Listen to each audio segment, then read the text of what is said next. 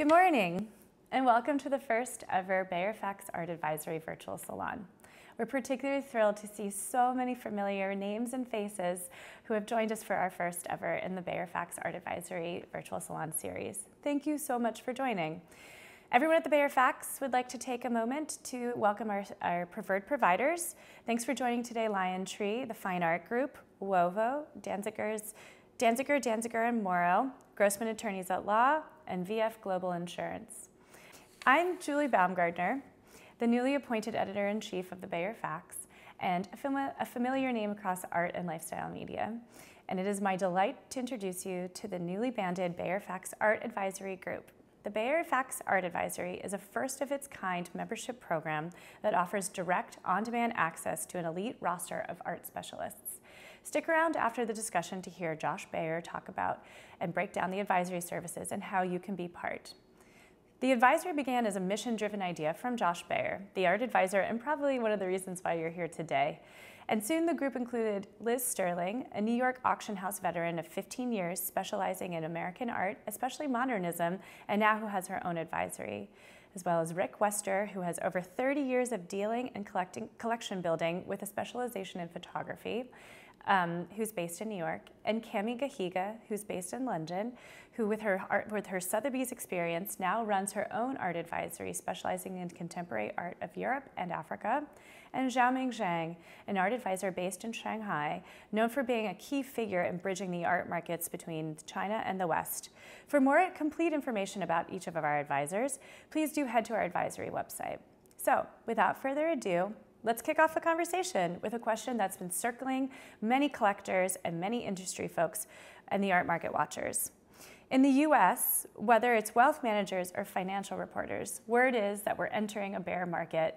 Hey, every, every market for me is a bear market. And please, insert your bear joke here. And it's a bear market for me all the time. And sitting where we do in the art market, Liz Sterling, what do you think of these predictions? All noise, or is there some truth to what we're hearing that art advisors and art collectors should be heeding? Of course. So, look, obviously, there are concerns about inflation and volatility in the stock market that we're seeing.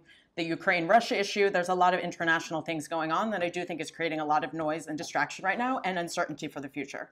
That said, there was a tremendous amount of wealth generated during COVID a number of people have bought second and third homes, and also the expansion of digital access to the art world has tapped into a completely new marketplace and really expanded the audience at a variety of price levels. So I think you're seeing dual factors here. Um, what I would say is I think it is something to keep in mind. Um, I do think obviously there are certain sectors of the market, particularly emerging art, that we have been seeing considerable speculation in.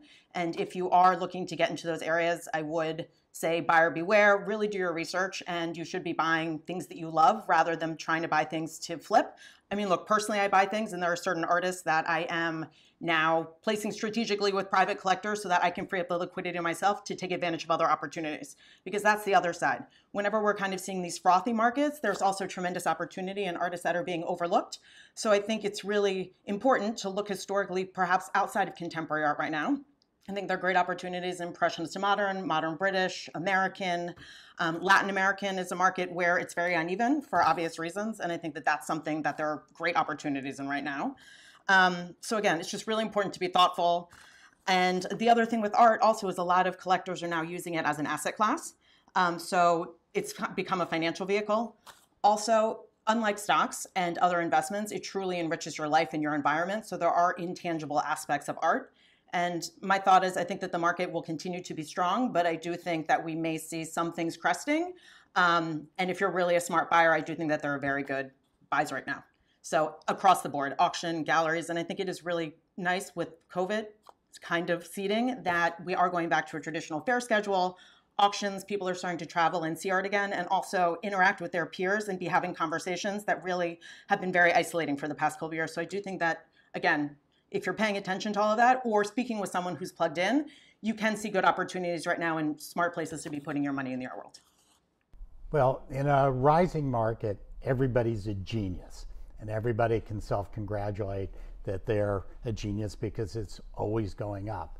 And those of us who've been around have seen that there's cycles and things go up and down. Um, I would say if you're listening to your wealth manager talk to you about buying art and how much to put in and what to do and their values, it'd be the same as calling me and asking me to pick stocks for you. Um, and um, I would stick to the experts. I think a, if we get into a bit of a bear market, I look at it as opportunity time, but it takes guts, and most collectors don't have guts to be going it alone.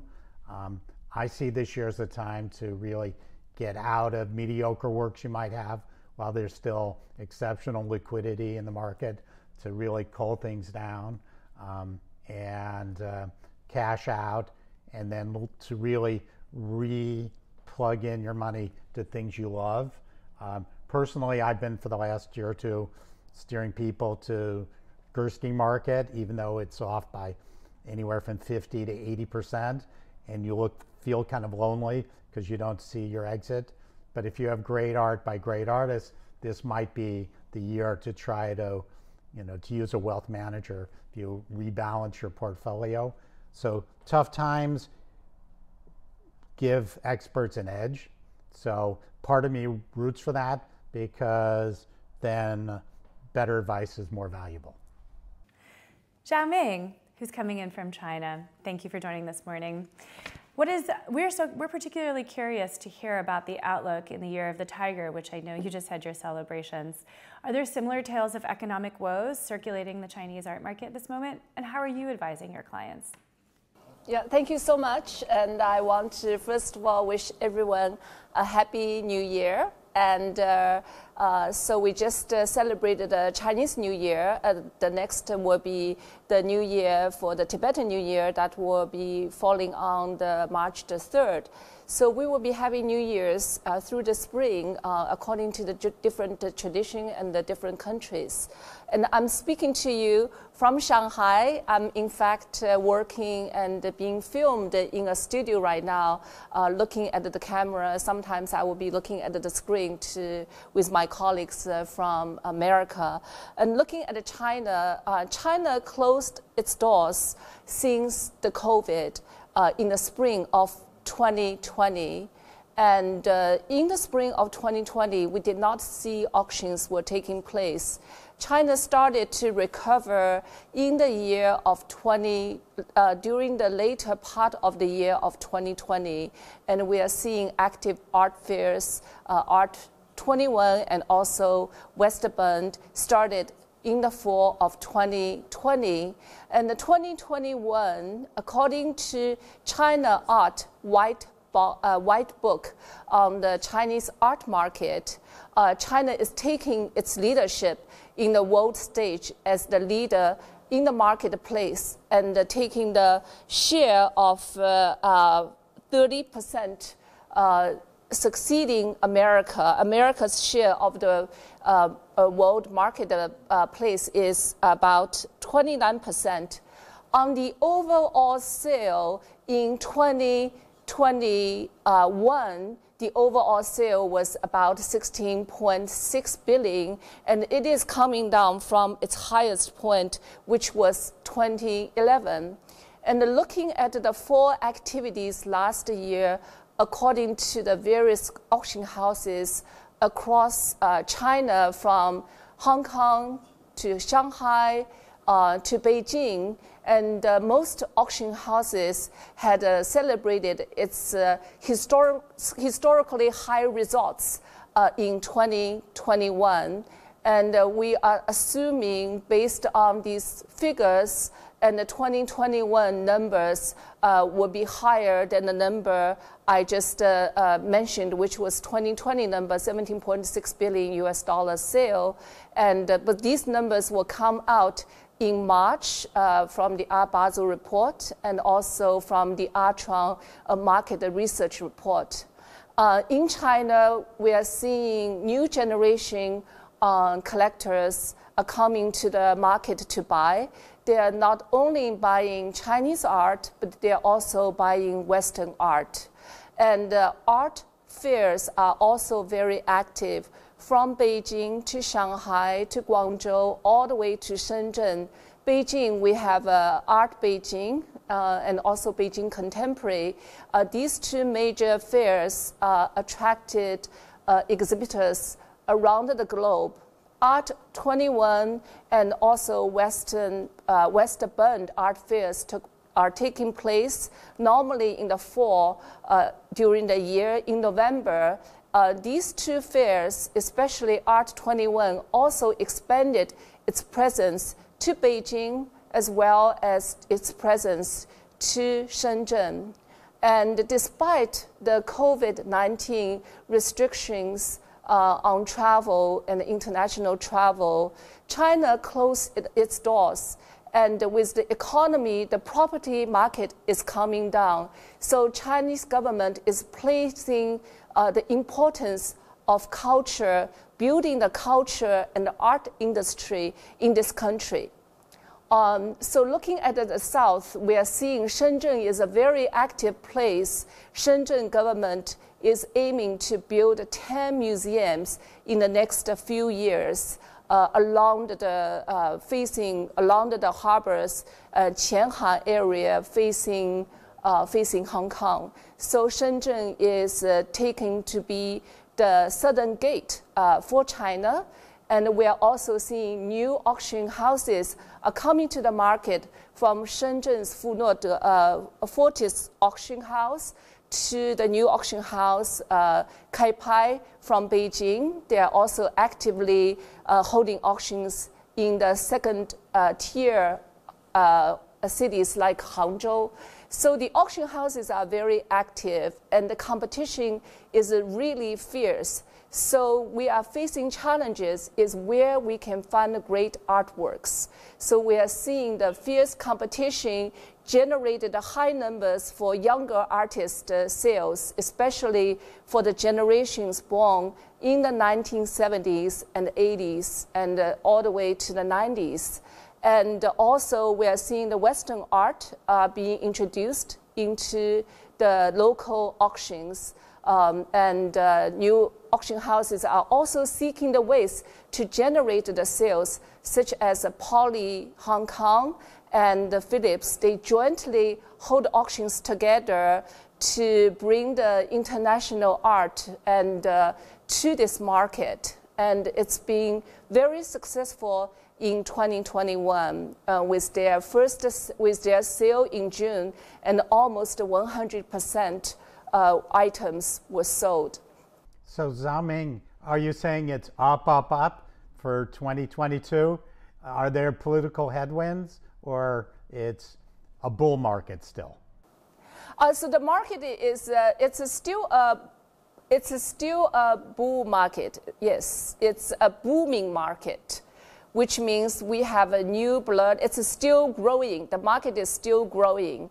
And uh, so we have new opportunities, innovations, and also uh, growth in this market.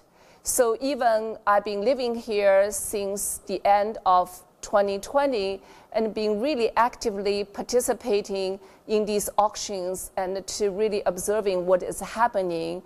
And with the internal fierce competition, I think the auction houses, domestic auction houses, will need to develop new strategies to compete. Um, so one of the weakness in our country is the auction houses do not think international PR and marketing is important, and they believe internal consumptions are enough to really help the, uh, the, the growth of the auction houses.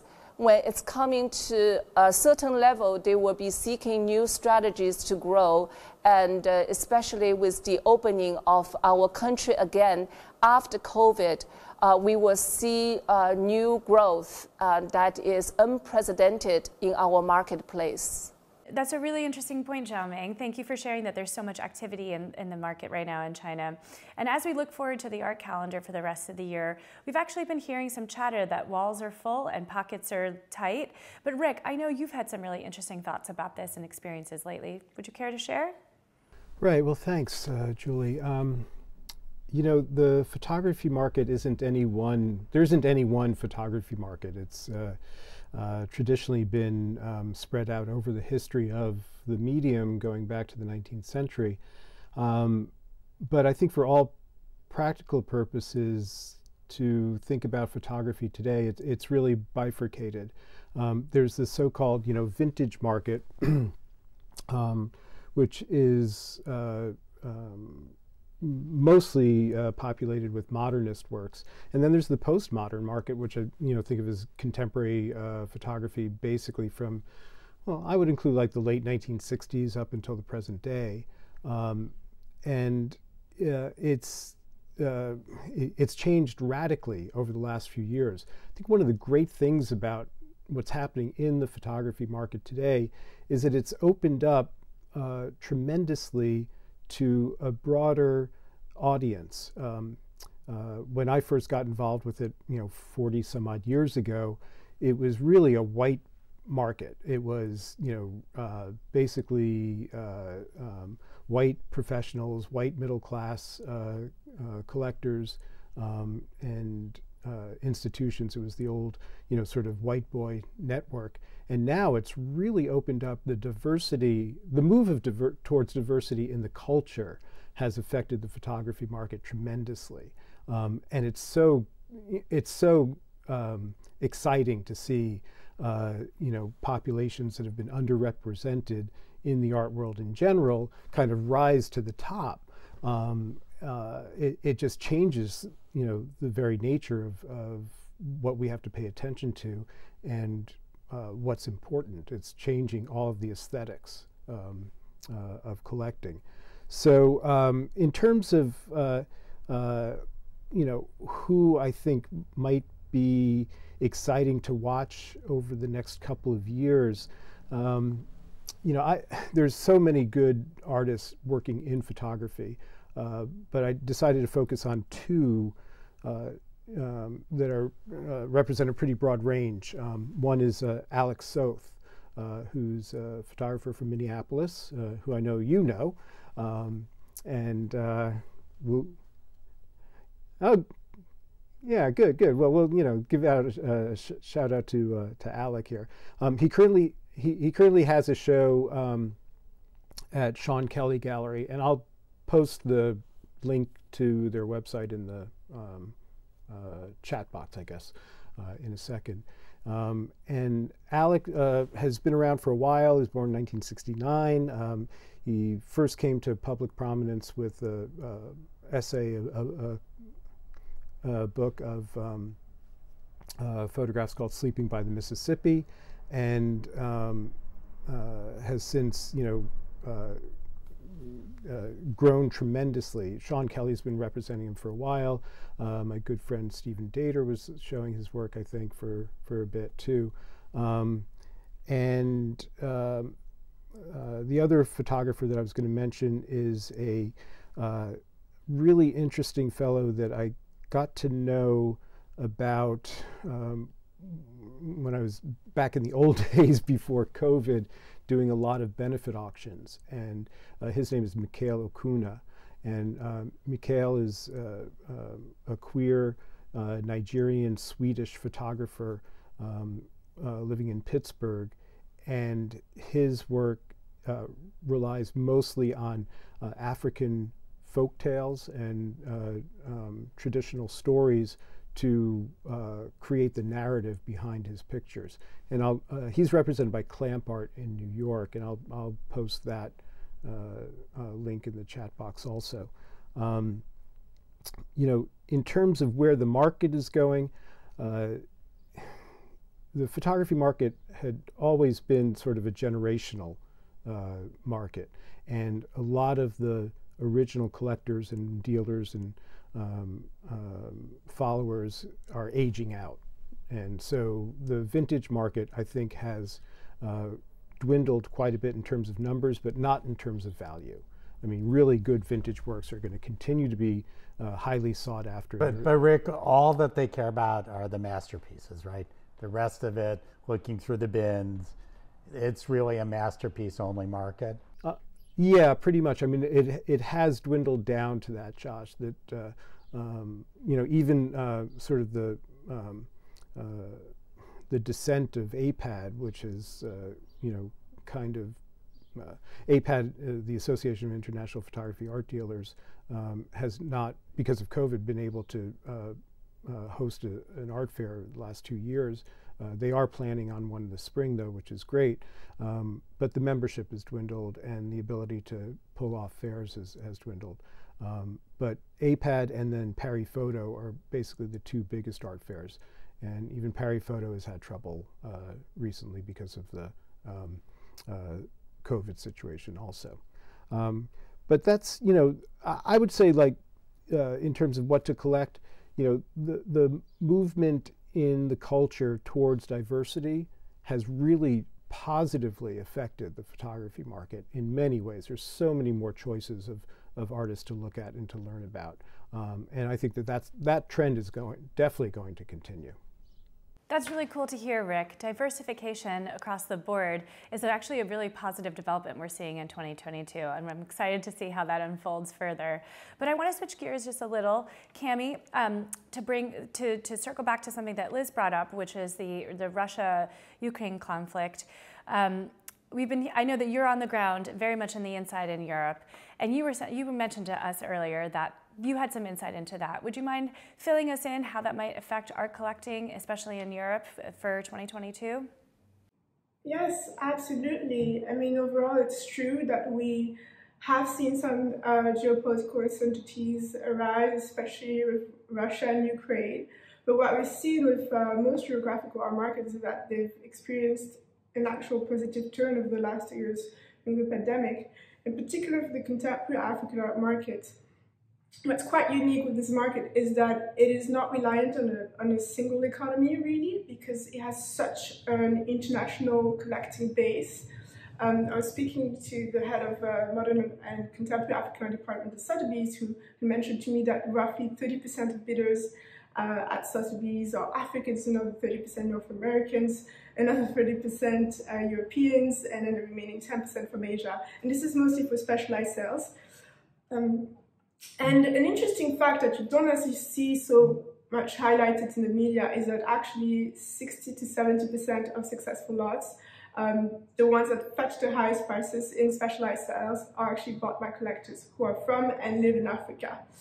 Um, it's true that in crossover sales and post-war and contemporary sales, whether, whether Phillips, uh, uh, Sotheby's or Christie's, you've seen uh, some skyrocketing prices over the last two years for African artists. I'm sure, I mean, Biola, Marco Boafo, Tisquamea, Butia, uh, Jade Fadojutimi. Um, I mean, the, the sales for young contemporary African artists, that means under 45 years old, have surged by over 120%, and uh, we keep seeing the, the average prices on the rise. But one, one thing that is important to take uh, notice of is that what's been happening is that there's a, a real reckoning by artists of African artists and, and, black artists that it is great to see um, you know, the talent of African artists being recognized at auction and uh, being acclaimed, but really for they, realize that for the market to sustain itself beyond a, a particular particular moment of of trend or attention is that you need continuous support and cultivation of this growing market. And so what's been what's been fascinating to see is that you see um, several artists who've experienced tremendous success uh, at auction sales, going back to Africa, uh, many artists um, such as uh, Kehinde Wiley, uh, setting up an artist uh, residency in Dakar. Over the last few years, you have uh, Boafo, who's set up a studio complex in Ghana, in Accra. You have Michael Armitage in Kenya, who has uh, recently opened the Nairobi Contemporary Art Institute. And then you have, um, I mean, there are so many different names that I could give, and that's just over the last years because, I mean, just in general, not just the contemporary African art market, but what you find is that the primary metric to measure uh, the sustainability of an artist market is truly the acceptance of institutions, the number of exhibitions that an artist is being um, shown at, and um, I mean, across Europe and internationally, you have seen a rise of exhibition of uh, artists of African descent or black artists of minorities being showcased. There's an acute understanding that artists, uh, creators, and art professionals who are involved in this space know that you need to develop uh, uh centers within the continent, um, educational ones, training ones, in order for the market to be interesting and to, to keep being um, to keep uh, having uh, that attention and for the market of these artists to grow. Um, so that's that's something to take into account. And so and this uh, portion of, um, of collectors I mentioned earlier at auctions are buying African artists for large sums, I think this is only going to grow with uh, the rise of institutions and academies and schools and centers that we're seeing on the continent, which is not necessarily always highlighted and perhaps um, is important to, I mean, absolutely important to note. So you're saying there's, while there's speculative fever, there's also real organic growth simultaneously, and they get confused by the media sometimes, and it would be different if it was only one and not the not both. I mean, I do understand the, the, confusion as well because you have, so first you have specialized sales of African art sales that um, actually houses like Strauss & Co in South Africa organized or Art House in Nigeria, uh, Sotheby's in uh, London, Bonhams, and then you also have these crossover sales that we've seen with young contemporary uh, artists in the last years with Phillips, uh, Sotheby's and Christie's, and uh, with young contemporary artists that are being uh, shown and sold uh, alongside uh, other international artists. And it's true that these artists have particularly seen a rise in, in prices, a tremendous, a very quick rise, uh, which is fueled um, by, it's true, by emerging, uh, by collectors of emerging markets. Uh, there is a speculative side, but as I mentioned, there's this realization that uh, many art patrons and artists um, took note of and are hence setting up um, you know, systems in place and foundations in place in order for the market to sustain itself beyond just a moment of trend. And so, I mean, for any markets in general, you have to be careful when you, I mean, you have to be cautious, you have to do due diligence when you want to collect art um, at any price, at, at, a certain price point, you have to, to start thinking about it. But there's also the need to realize that there are um, actual systems that are being put in place in order for the market to keep growing. And um, the, the number of high net worth individuals uh, in Africa is just is, is, is growing by 2025. It's set to grow by 25% according to a, a market report, the latest market report by um, ArtTactic, which is an art market research firm in uh, London, and they cover a lot of emerging markets, in particularly Africa. And you really see that there's a, I mean, there is a positive trend, obviously, in terms of the prices that we're seeing at auctions. It's exciting, but also the clear realization that there are um, that there are important systems that are being put in place for that market to sustain itself and, and thrive. Great, that's so interesting to hear. And Liz, I'm curious, how is that impacting and affecting how you're advising clients this year? What's your outlook? Um, I mean, I think one thing that I'm really stressing is you're going to get the best opportunities and the best choice of material if you are really casting a wide net. So to be looking at galleries, dealers, and auctions equally. Um, and also because we're at the beginning of the year to kind of pace and be thoughtful, not really blow the whole budget in the first six months. Um, I also think, again, as I said before, just to be wary of trends and to see through the hype and really be buying what you appreciate for the artist and their work. Um, also, I know my former colleagues at auction houses are not going to love this, but do not get carried away bidding an auction. Um, we see that happen a lot. So that's the other thing is just kind of have a strategy and stick to it. Um, also, I think art world etiquette is something important, particularly for people who are buying on the primary market. Um, look, often to flip something for short term game, I absolutely understand that temptation, but you really the art world is an ecosystem and if you're going to have the most success building a collection and as a collector you really need to prioritize the importance of your long-term relationships. And if you do want to be selling things because you have seen a huge appreciation of value there are certain unspoken code and rules that you should go through. So i think navigating that is incredibly important particularly with the digital world and with the proliferation of images and just the way that information travels now um, also, I think something that's key is fast payment can often open up opportunities. I think more and more um, I'm seeing opportunities for people who want to get money out of art to invest in something else right now because of the volatility. So if you can pay someone within 48 hours, you might be able to get something for a 10 or 15% discount, and that opportunity will not exist, um, you know, a week later. And then finally, buy what you love and get good advice. I guess on that note, on good advice, Josh, I want to punt it back to you. Who are the artists that you think are good investments this year? What are you telling your clients who to look at and who to invest in? Well, my traditional answer is that's what people pay me for is to give those answers. So as you join our art advisory, we'll get more clarity on that. I would say, in general, I'm not very um, commercially minded, so I'm always looking at history and figure that the uh, good vibes will come out of that. So um, I can't tell you exactly buy this, it'll double next year. Um, I tease my hedge fund guys who call for free advice and they don't want to pay and uh, they want guarantees that I want the same thing from my stocks. Um, I say focus on an artist you love, figure out which one you would really like to own them. You know, if your dream could come true, then do all your homework to find out all the available works of that artist and see if you can do that. So it's not, I don't work on a sort of shopping mode of one thing a week or scattershot. Let's try 20 and hope the one hits. So I don't really answer your question directly, which artists. Um, I only love, you know, 20 or 30 in the world. So I'm not adding a new one every other day. Um, some advisors do that. I think our team generally is not that way. So we're a little bit similar. So um, I don't know. That's a sort of, you know, I don't think anybody's hearing me say, go buy, put $50 million in NFTs either yet. You're not the right person, I think, to talk about that, but Kami is. Kami, I know you've been in some really interesting discussions about NFTs and what that looks like for 2022. Do you want to fill us in on that?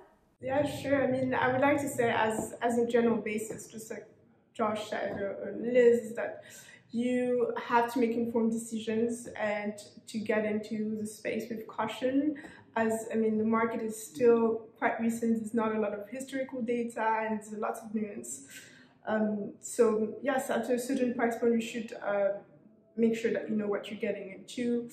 Um, there's one thing uh, for the year ahead that I would say is that there's definitely going to be growing enforcement in the crypto space in relation to regulations and tax compliance. Uh, a useful tool for, uh, especially for American collectors who are interested in getting into the space, is that uh, the U.S. Department of Justice actually released uh, a framework um, that really uh, outlines the do's and don'ts and the risk areas of the NFT space. So that's that would be a good thing to to take a note at uh, before getting into it. I mean, as most of you know, uh, I mean, an NFT is a unit of data that sits on, on the blockchain and says that you basically own the image. And it really started as a way to legitimize digital art that was not really considered as, an, as other art forms. Um, one interesting aspect that has uh, really helped in legitimizing NFTs is that Sotheby's and Christie's have opened their own NFT departments. Um, and uh, it's, it's, it's, it's quite interesting what you mentioned before because a lot of people, it's true, have sort of trouble understanding the appeal of NFTs. They think it's just, they look like cartoons and most of them are absolutely awful when we look, when you think about uh, the aesthetic side of things. But we need to acknowledge that the, fa the fact that tastes change with generations. Uh, when you think about the Beeple sale and that 30, there were 33 beaters 58% uh, were millennials. That already gives you an idea of that space as well and how things could uh, could advance and, and grow. Um, and yeah, so it's, a, I mean, when you, so the, the collectors would come to me and, and ask me, well, um, I want to get into that space. I think it's exciting. Everyone's talking about. So there's obviously a lot of frenzy around it that people just want to go hand, hand, and, and, and just buy one. Um, and there are like two interesting developments that I usually talk about is that the so the, the blue chip artists that I would call it are in the NFT space where you you probably heard about the crypto CryptoPunks and the apes are realizing quite significant sales and have been highlighted at uh, um, auctions. Um, you know, they, they, range between, I think, 200,000 to 400,000, and they are more and more uh, considered as a potential you know, they're more and more used as a, as a financial instruments, and there's even potential for, for loaning uh, systems with, uh, with uh, these particular works. And then you have another exciting development is the rise of DAOs, which are decentralized autonomous uh, organizations. It can um, either be a group of collectors that decide to come together and um, try to raise, uh, to, to organize a fundraising in order to buy a specific NFT. And you have artist collectives as well that come together and uh, try to raise funds by the sale of their artworks in order to fund uh, future exhibitions, uh, future programs, uh, publications. There's one in particular in Africa that is quite interesting and actually showing at Art Dubai uh, next month and they've shown at Art Basel Miami with Tezos um, in December. It's a Cyberbaat Collective and it was founded by a Senegalese artist who's very young, she's in her 20s, she used to work at Google and she understood the appeal of uh, NFTs, especially for African artists, uh, in terms of the resale royalties, but as a way to come together a community with uh, a common goal, and, um, and they have really exciting projects. What's her name? Linda Dounia, Linda Dounia, and she started the Cyberbaat, um, Cyberbaat uh, NFT collective. Yes. And Xiaoming, I want to ask you, what artists are you looking at in 2022? Both Western artists in Asia and also Asian artists, what the West takes interest in as well. Uh, so the artists to look at, um, I was thinking through the question, and I think I would not uh, pick up the artist from my own personal taste, but rather I would uh, be looking at uh, um, one category, say the Chinese artist, how uh, we can look at the Chinese artist. Uh, in China, we have two, the, the artist uh, we have two groups of uh, artists. One belong to the official system. They work for the central government. They work for the local government. They work in the art schools. They also artists, and uh, so they will be commissioned by the government to produce art. And also we have uh, um, independent artists who are really uh, working uh, with galleries or without galleries. In China, we have a lot of the artists, and uh, so the market is only covering less than 1% of the artists. So what I here I want to list up the names that uh, uh, had uh, achieved great records last year in 2021 are the generations uh, from the 1970s. They were born in the 1970s and 80s and here are the artists I want to list here. Uh, first is uh, Huang Yuxing, uh, the artist who is represented, recently represented by Almine Rech Gallery. Uh, the second one, a player in the marketplace is Jia Ai and uh, he is represented by Gagosian. And recently, Qiao Space, uh, Qiao Zhibing, had a show for uh, Jia Ai uh, during the, the art fair season uh, last November. Uh, the third artist is Hao Liang, also represented by Gagosian. Fourth artist is Chen Fei, uh, represented by Tang. And the fifth artist is Qiu Xiaofei, represented by Pace. And also Liu Wei by Lehmann Maupin Gallery, Wang Guangle by Pace Gallery, and Zhao Zhao by one of the top Chinese contemporary gallery is Tang Contemporary Art. And uh, when mentioning Tang Contemporary Art, one of the phenomena I want to mention here is uh, Chinese government uh, put a lot of money into the culture and arts industry. They're also putting the money uh, into investing in the local art galleries. So Tang Gallery has been very actively producing shows for blue chip Chinese artists. So it is a gallery for us to follow. And following Zhao Zhao, we also have a Qin Qi uh, represented by the Tang Contemporary and also Song Kun by Para Tang. So among these lists, we are seeing the top young Chinese artists. They are already being snapped away by uh, the major uh, Western uh, contemporary uh, galleries. And it's important for us to also discover great talents who have not been represented. So, where to find these great talents? In China, we have a biennales, great biennales. Chengdu Biennale opened last November, and also in 2020, Jinan Biennale, and this year, uh, in Guangzhou, we will have the Guangzhou Triennale. So through these biennales, triennales, we can find also great artists, emerging talents coming these uh, biennales. And also important uh, for the collectors to be aware of uh, the representations coming from the local galleries from Beijing to Shanghai to Chengdu, which is uh, in the Sichuan province, and to Hangzhou and Guangzhou and Shenzhen. These are active cities uh, who have great galleries. So it is always important for us to do the homework. And the market is an indication of what's being established. And it's hard for the people and the audience and the collectors from overseas to know what exactly going on in our market. So I think uh, we are here to really help you to translate the knowledge and also help you to work with you to really build the knowledge uh, in this market uh, from China and also to other countries in Asia. That was so interesting, Xiaoming. Thanks for that. I think now let's kick, let's shift gears and go to the, the questions that have been submitted by our audience. And I think a great place to start actually is what transformations are we expecting this year in the art market? One thing that we are going to continue to see is the influence of crypto on the market.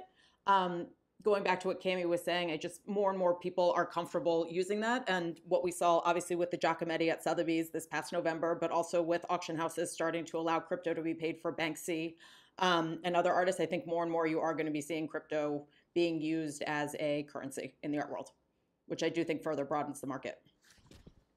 Rick the trend that I mentioned earlier about uh, increased diversity. And um, uh, one thing I didn't mention was the internationalism. The growth of photography uh, across borders is really going to start informing collectors in a much greater way. Here in the States, it's happening mostly in nonprofit um, uh, um, spaces and organizations uh, where uh, you know, uh, people are reaching out across borders to, to bring work that their audience has, has never seen before. I'm really interested to hear what Kami has to say about this, though, because uh, uh, she and I have been uh, discussing uh, a few photographers, and uh, including uh, Mikael. So, Kami, what, what do you have to say about that? Yes, I've definitely um, I've definitely noticed that, especially with um, American galleries. I think there's a lot of attention on uh, African American photographers. Um, recently, especially for Carrie Mae Weems, who's an African American photographer at Jake, Jack Shainman Gallery, um, I've definitely noticed like a surge of interest for for her work in in particular. Um, there's definitely one that I'm really excited about is the 1-54 Contemporary African Art Fair, which uh, will happen in April this year in Paris at Christie's. It's been really interesting is to see these uh, cross collaborations, these collaborations between auction houses and, and art fairs, and these new hybrid models that really emerged during the pandemic. And um, and yeah, it's, it's, it's, a fair that showcases um, a wide range of uh, galleries from different uh, countries in Africa and uh, in Europe and America as well, with a, with a strong focus on contemporary African art and contemporary African photography as well, and uh, painting. So that's uh, it's quite exciting. And great, Kami, I'll see you in Paris. And I think now is a great time actually to kick it to Josh so he can explain a little bit more about the art advisory and how you, the audience, can be part of it. But before he, before he takes over, I just want to thank everybody for coming today and participating and for the fantastic questions that we were submitted. And uh, we look forward to hosting you once again for another one of our virtual salon series. So stay tuned for those details as they emerge. Thanks so much, everybody. Hopefully this webinar showed that in the idea of this sort of membership on demand advisory, it's not an algorithm. It's not a tech company. It's specific people with access and knowledge. And the things we do at the Baer Faxt involve access and knowledge, and now expanding past my own levels of that to people from different parts of the world, different life experiences, different expertises to make it interesting to, I mean, the goal of this was for the five panelists to find it interesting. We think if we interest each other, that you as a collector, an advisor, a dealer, um, will find it interesting as well. Obviously, we want feedback. Um, but as you become a member, which, and we're pretty transparent, it's a $3,000 fee for the year. It gets you access on demand to all five of us. Um, it's not for us to walk you around every art fair for eight hours a day. It's there when you have a real question, like, what do you think of this particular work? Or I saw this on ArtNet, I was going to buy it. Or you're in London, I heard this show is great, that we can give you feedback. It's also there if you want us to help you make a transaction, find us uh, this, find us at Kehinde Wiley. We'll do that. There's a straightforward fee of 5 to 10%. Um, I think ideally, and some of the people signing up, we have highly experienced, knowledgeable collectors who say, this is pennies. I can talk to Rick about, you know, Kertész. I can talk to Liz about Georgia O'Keeffe. I can find new ideas from China, from Xiaoming. I want to do emerging art. That's a no-brainer for like somebody spending, you know, you know, six, seven, eight figures a year on art. But it's also a valuable service for people just started who are like, I don't want to do something stupid. What am I doing? Is this one even good? Oh, that's not even a unique work. Or, oh, you saw that, the auction, it was damaged. So we're trying to give that in a way that's efficient to everybody's time, the collector's time, and to the advisor's time. And uh, as we grow, we hope this grows. Uh, we hope some of you look through our website a little bit more, contact any of us to try to see more particularly about joining.